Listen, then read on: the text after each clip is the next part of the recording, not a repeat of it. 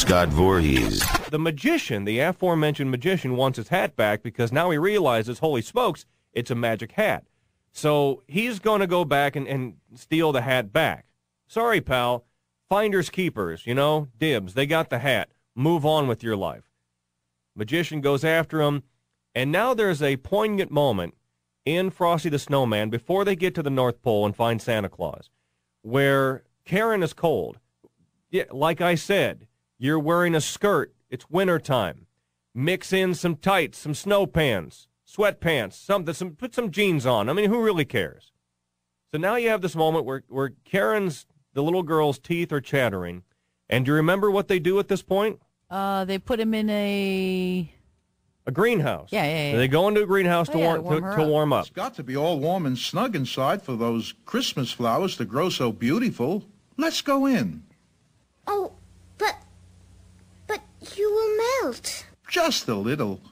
I'll only stay inside for a minute.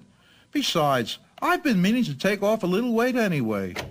All right, so now they go in the greenhouse, and at this time, the evil, dastardly magician shows up, sees Frosty the Snowman in the warm greenhouse, out in the middle of nowhere, I should add, but be that as it may, the magician slams and locks the door from the outside. What a greenhouse. So he, he slams and locks the door.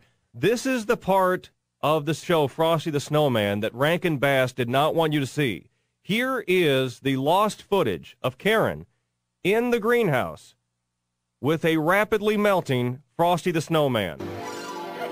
Happy Death Day! Oh, Karen, this is it! I'm done for! Frosty, no! Oh, I can't feel my feet! Ah! Feet! Oh no, your face is melting off! Stand back, Karen, stand back. I'm melting all over you. Covered in water! It's not water, it's snowman water.